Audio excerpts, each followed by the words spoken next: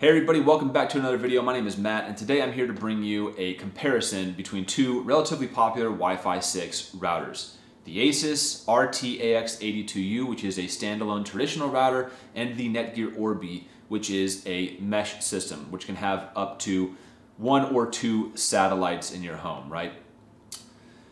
This video is going to be a bit longer than the ones I normally do. So as always, if you don't want to watch the entire thing, here's the synopsis slash my final thoughts. This is an absolutely incredible router, and I cannot recommend buying it enough if you don't need a mesh system. And that's gonna be the crux of the entire video. Do you actually need mesh or not? Because I was someone who was under the impression that mesh was best. If you're gonna go and buy a router, buy the most badass system out there, which nowadays are mesh systems, Linksys, Netgear, Asus, everybody has their own version of them. They're expensive, they're going to work over 90,000 square feet, exaggeration obviously, but still they tout themselves as being kind of the, the top of the line. But the deal is, as I learned the hard way, mesh systems can be overkill and even detrimental in certain home sizes and configurations. And traditional routers aren't as crappy as they used to be. You know what I mean? The last traditional router I had was back in 2016 uh, when I moved into a house and it just didn't cut it anymore, right? That was back when they were small, they didn't cover, they couldn't go through walls very well. And that's when I bought my first mesh system. Uh, it was the Eero back then called Whole Home Wi-Fi.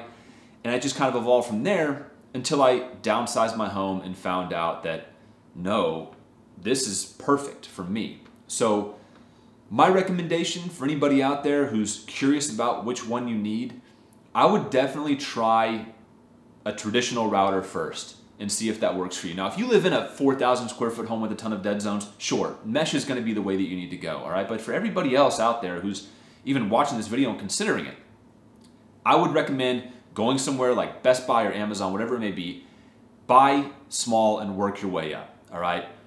A top of line mesh router, you can be looking at 600 to $800, right? This one I think is now down to either four or 500 this costs 200 bucks and it does a better job in my 1850 square foot home and 10 devices than this thing ever did, all right? So the video is gonna be broken down into a bunch of different parts uh, so that you can skip around, all right? I'm gonna be comparing these things directly. So I'm gonna compare their physical appearance slash build quality. I'm gonna compare their setup, installation, the software, the performance, and then just kind of do a whole wrap up of what even prompted me to buy this because I bought this back in September of 2020, made a review video about it, gave it a, uh, a glowing recommendation at the time. And so why did I move away from that to this? And, and then just kind of give my final thoughts on, on mesh versus standalone. So let's go ahead and hop into it, all right? Physical appearance and build quality, in my opinion, should be pretty low on the totem pole and what influences your decision to buy a router. Because at the end of the day, you should be setting these things up putting them somewhere and leaving them there, right? So the durability factor I don't think needs to be very high. You shouldn't be tossing these things around. They shouldn't be falling off of anything, right? But aesthetics might matter to you, especially when it comes to a mesh system because when it comes to this, you're gonna have your main router in whichever room you have your uh, internet coming into, right, from your ISP. But you're gonna have to put your satellite or satellites in different rooms, whether that's your kitchen, your bedroom, upstairs, downstairs. And so you're gonna wanna have something that you don't hate to look at. Now, the Orbi, I think, is a little bit outlandish looking. The reason I kept this was due to the performance. I didn't care what it looked like. But there are a bunch of different options out there that can be aesthetically pleasing. Google has one that's nice little circular nodes. Linksys Velop has these nice rectangular towers. So consider that, right? That goes for this too.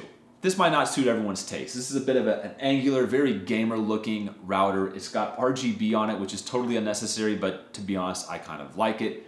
But again, it might not suit everybody's taste. So I like the look of this. I'm always a fan of black equipment in general. Um, and I will say that it does feel a little bit sturdier, but again, you're not paying for the outside, you're paying for the technology inside of these things. So take that for what you will. This is a purely subjective opinion. You might love this, you might love that, whatever. Don't let that influence the decision, right? Second thing, installation and setup. I have never, ever set up a router that was as easy as this Asus router, period, plain and simple. All right. In terms of a direct comparison, this thing is 10 times easier than the Orbi was. All right. No joke. From unboxing it to having a fully functional network with its own uh, passcode, and that includes downloading the app over my cellular network or cellular data and uh, going through the installation steps on the app. It took five minutes, maybe five minutes. It was that quick. The Orbi, on the other hand, definitely takes a little bit longer. The app is slower, number one. Number two, you have to create a Netgear account to even get into the app and start your setup, which I thought was super annoying. And then it does take a while for you to place your nodes throughout the house, your satellites, and have them connect.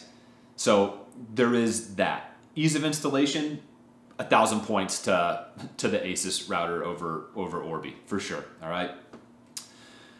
Second is going to be the app. Okay, both of these have what I would consider to be good apps. The software on them is fine. It works good. Uh, it gives you everything you need, meaning on both apps, you can very easily change your Wi-Fi name and password. You can go in and see what devices are connected. You can check the uh, usage of every device. You can see your uh, upload and download speeds that are coming in from your internet service provider. They definitely do all the basics that you would need an app to do. Here's where they differ a little bit. And this is just from my experience. Maybe I didn't dig deep enough into these apps, but just from the surface, from what you can see when you swap around the menus, here's the main differences I found.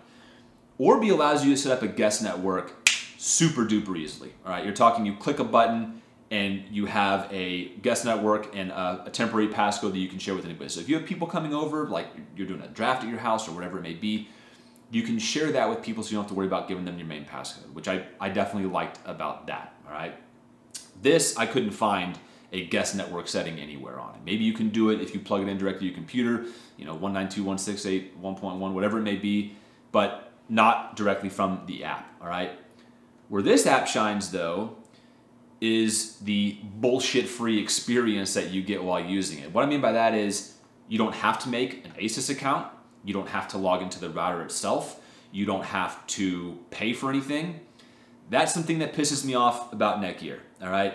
This thing comes standard with security. Both of these have kind of just a standard security, right? But on the Asus router, you can have security and parental controls for no extra charge. Whereas Netgear, you get a trial of each and then you have to pay. For both of those, it's $170 a year, which I think is just bullshit when you consider the initial price that you pay for these anyways, all right?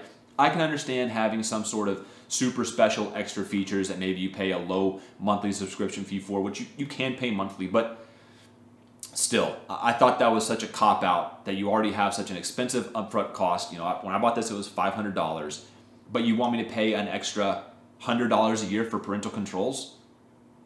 No. That's insane to me, right? And then the other big difference that this one had, it does look uh, gamer-y, right? And it does come equipped with some pretty cool gaming features. Now, one of the features on there is basically turning it into a mobile gaming beast. I never use that. I will never use that. I don't do any sort of mobile gaming that would require that, okay? But what it did have that was really cool was automatic port forwarding, which should help provide a more stable connection, right? So the example I'm gonna use here is Destiny 2. Destiny 2, I had an issue with the Orbi where I was constantly getting disconnected. I would get the Weasel error code two to three times a night when I would play. It drove me up a freaking wall, right? Well, with the Asus router, you're able to go into the app, select a game from the list of like hundreds, if not thousands of games long, select that game, select port forwarding, and maybe it helps, maybe it doesn't. But back in the day, that's what I used to have to do manually when I had uh, like an old school router. Uh, and, it, and it did help with some games. So I think that's a cool feature that they added in there. Personally, I wish that all routers had that because, I mean, a lot of people, a lot of people play games these days, right? So that's that's it for the software. I, I definitely prefer Asus, the Asus app on my iPhone versus the Netgear Orbi. There's no doubt about that but they're both usable. Don't let that deter you from anything, right? If parental controls are a huge deal for you, then, then maybe consider something else besides Netgear, unless you're okay paying that extra monthly subscription, all right? Um, in terms of the performance of these, which is, in my opinion, the absolute most important part, all right? What I found was that when I lived in a 3,000 square foot, two story home with 15 to 20 devices connected at all times. And that's, that's, that's no joke either. There were three cell phones, two TVs, two Fire Sticks, two iPads. We had two smart thermostats, one upstairs, one downstairs, a smart doorbell, the smart freaking front door lock, baby monitors. I mean, this thing was just perfect for it. Like that that's why I, I, I reviewed it so well back in September of 2020. I loved it. It handled everything like an absolute champ. I had one located downstairs in my office, the other one located upstairs in my bedroom, and it was seamless. I had perfect coverage inside and outside of the house, okay? And that's where this thing shone. However, once I got divorced and had to move into a smaller house, which is the one I'm currently living in, 1850 square feet, I tried to set this up in a relatively similar configuration, which was the main router in the office and the satellite in the bedroom. And I ran into problems right away. All right. The TV in the den would constantly disconnect from the internet. I would be in the middle of streaming a movie or a TV show, and boom, it would cut off, internet disconnected. I would check my phone, check my computer. Well, sure enough, I'm still connected to the internet, right? So I would either have to restart the TV or reconnect it to the internet using the uh, Samsung Wizard. It drove me nuts. This wasn't one or two times a month. It was, you know, it was one or two times a week. So I was worried that my TV was was crapping out on me, which was a bummer because it was still relatively new, right? The second thing was I would be in my kitchen or in my office and go to the bedroom and browse Reddit or watch YouTube, and it would be insanely slow. So I would go into the Orbi app and check, and sure enough, my phone was still connected to the router in the office. It didn't swap to the satellite in the bedroom, even though we were 10 feet away from it, right? So that was a little bit weird.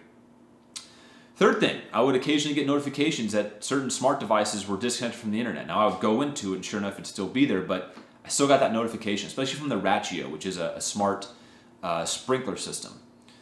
So again, don't know if that was kind of the similar problem that I was experiencing with the TV or what, but the final straw came when one morning I just couldn't get anything to work. And that's when I decided I'm done with this. I'm going to go out and try something different. I just went on bestbuy.com and checked and saw, hey, this is a $200 router, over a thousand reviews, 4.7 stars.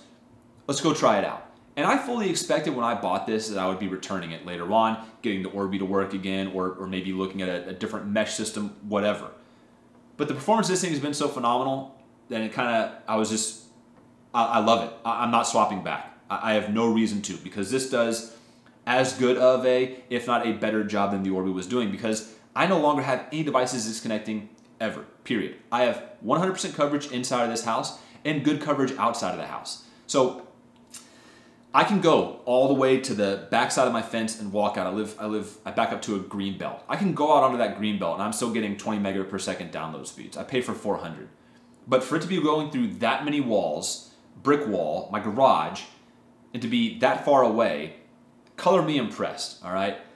I, I recorded a short little clip of me going from the office to my bedroom. I'm still getting above the speed that I pay for in the bedroom, right? So it does exactly what I need it to for this house. I have maybe eight to 10 devices connected nowadays, right? I've got two computers, two cell phones, two iPads, the, the front doorbell, the, the, the sprinkler system, the uh, the AC, right? So I've got all, all those things connected and everything still works just fine.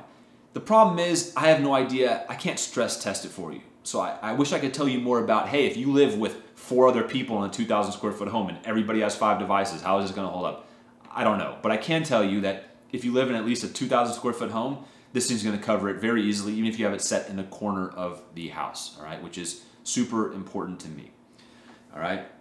So long story short, I'm never going to be returning this. Uh, and it really did open my eyes up to the fact that the Orbi was just too much. It had turned into overkill. My, what was going on, so I, after I went through all these problems, swapped back to a traditional router and started looking online, what I found was that a lot of my problems were caused by the fact that my devices couldn't decide whether to connect to the router or the satellite because both were putting out such a powerful signal that it was just too much. I don't know if I, I don't know if I can say it was too much for the device, but it just couldn't decide which one to connect to, right?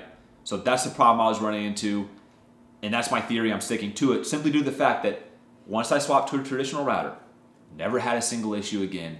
Period. Plain simple, right? So maybe that's anecdotal. I don't know. Maybe I just got lucky as coincidence, but I don't think so. All right. What I think is that traditional routers are freaking badass nowadays, right? The days of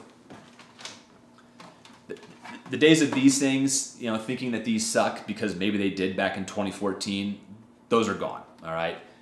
This is still an affordable traditional router. There are some that cost more than this, right? And Wi-Fi 6 is awesome. So again, if you're on the fence, if you don't know which one to buy, I would strongly recommend trying out something like this first. And if it doesn't work for you, then look into mesh. Don't start with mesh and work your way backwards like I did. Um, it's costly. All right. Mesh is expensive. You can pay less for mesh, but you're not going to be paying for kind of the top notch stuff, right? So if you have, again, wrapping this all up, if you have a massive house and a ton of devices, absolutely look into buying a mesh system. But if you don't, traditional router might work fine for you. And if you need a traditional router, go out and buy this one because it's freaking awesome. Cannot recommend it enough. All right. So that's going to do it for the video, guys. I hope that it helped in some way, shape, or form if you were on the fence about this and we're just trying to make a decision about which router to buy. All right. Um, leave any questions, comments, concerns in the section below. If you liked the video, please give it a thumbs up. If you disliked it, give it a thumbs down. Give me some feedback so I know what I can do better on the next one. Hope you all have a great rest of the week. Talk to you next time.